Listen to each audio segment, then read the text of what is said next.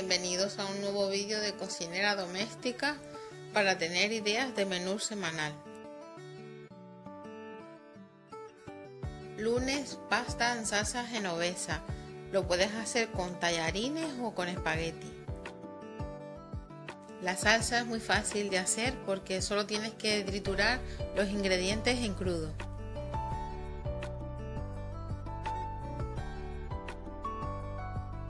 Martes. Caldo de papas y huevo con cilantro. Es un caldo de papas y arroz con cilantro y es típico canario. Miércoles. Garbanzos con espinacas. A pesar de ser muy sencillo, está muy rico por el sabor que le da el comino. Como ven en los ingredientes pueden utilizar las espinacas congeladas y es un plato sencillo de hacer.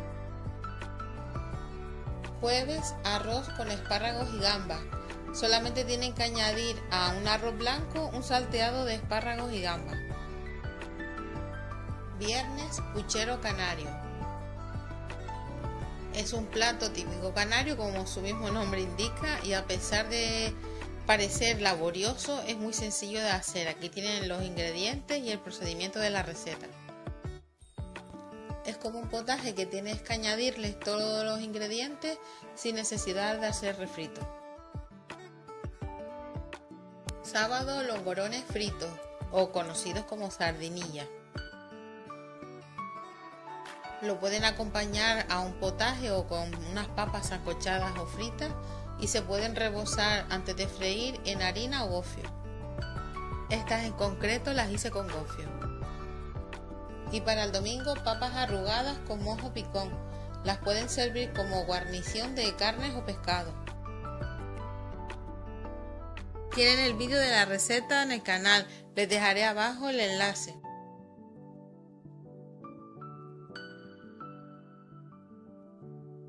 Y también el vídeo de la receta del mojo picón.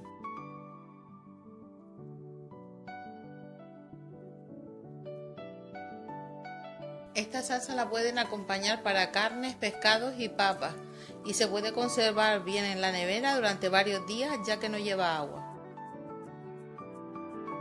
Y hasta aquí el vídeo de hoy. Espero que les hayan gustado las ideas de menú semanal. Gracias por seguirme. Chao.